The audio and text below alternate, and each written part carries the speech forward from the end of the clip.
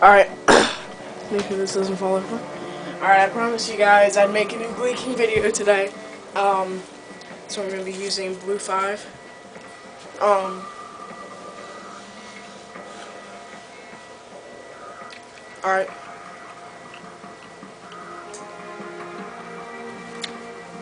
Take your tongue, put it to the bottom of your mouth, and flick up.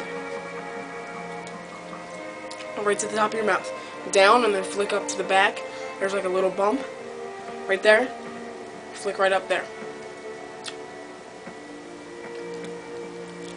Alright, thanks for watching.